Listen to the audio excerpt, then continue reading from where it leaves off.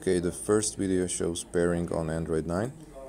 Uh, first, uh, when you open the app, uh, you choose what, whichever uh, login option that you want to use. I'm using my Google account. So once that goes through,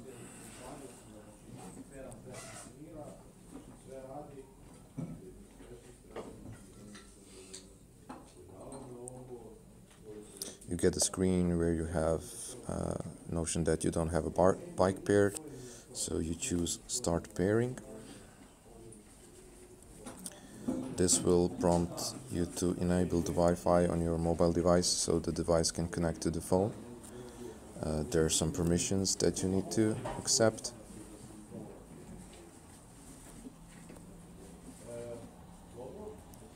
So location access. While you're here you can also accept the camera and storage access for the rest of the application features.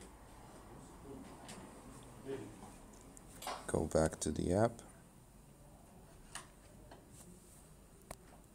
Start pairing and you will see the list of uh, bikes that are uh, active in your uh, vicinity. So you just choose a bike uh, which has your VIN shown.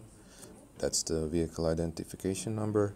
Uh, in your case, probably you will have just one, that the bike that you just uh, took from a box and uh, turned on. So I'm choosing my bicycle.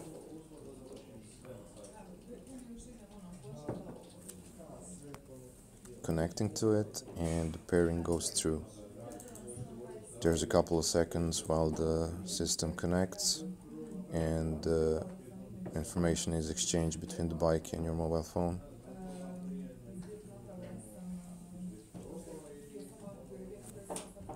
This is a prompt on Android 9 specific to the connection. You just choose connect or cancel it. It's the same. Uh, once you get the screen, that means that your bike is paired and you are now the proud owner of a Greyp bike which you can use with your mobile device. Thanks.